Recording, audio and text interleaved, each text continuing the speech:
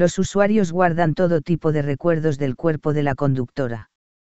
Aunque Rocío Sánchez Azuara sigue apareciendo en la señal de Televisa en horario donde todos duermen, no descartaba, desde hace meses, la posibilidad de ser contratada directamente por la empresa, sin embargo, no se concretó nada, por lo que el público ya extraña verla en algún programa.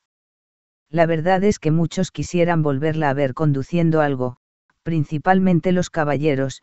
pues esta mujer se convirtió en la musa de muchos de ellos por su exuberante cuerpo que muchos no querían dejar de ver todos los días.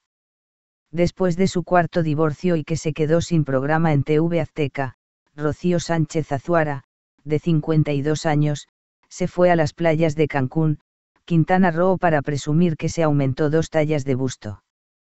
No te olvides darle me gusta, comenta, comparte, suscríbete para participar del sorteo y ganar premios, sígueme en mis redes sociales si deseas que te mandemos un saludo en las siguientes noticias comparte los vídeos y los cinco primeros saldrán en el próximo vídeo.